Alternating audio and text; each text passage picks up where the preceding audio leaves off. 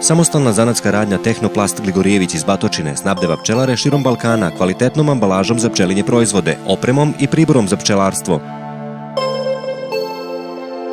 Poseduje sobstvenu alatnicu za proizvodnju alata i mašina za plastiku.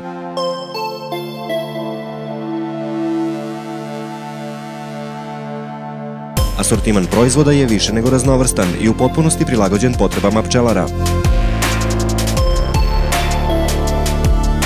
Počev od kvalitetne ambalaže za med različitih zapremina do raznovrsnih praktičnih pomagala za pčelarstvo, široka paleta proizvoda također je i cenom pristupačna.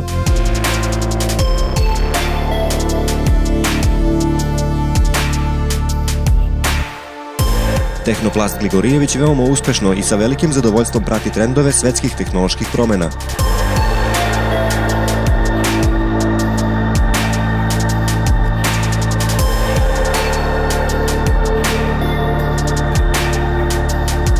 Tehnoplast Gligorijević, Batočina.